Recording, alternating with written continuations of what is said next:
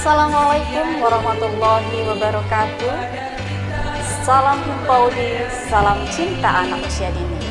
Saya Atin Anita Prihatini, Ketua Pengurus Daerah Himpaudi Kabupaten Lebak, mengucapkan selamat hari ulang tahun Himpaudi yang ke-16 kepada seluruh pengurus serta seluruh anggota Himpaudi setanah air.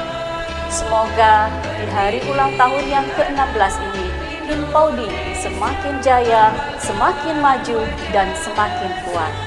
Semoga pula Allah Subhanahu wa Ta'ala mempermudah kami untuk mewujudkan Himpaudi sebagai rumah yang nyaman untuk bersama-sama mengembangkan kapasitas, bersama-sama belajar tentang arti pengabdian dan keikhlasan.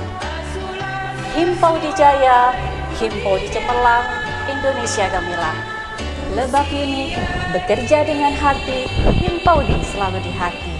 Assalamualaikum warahmatullahi wabarakatuh.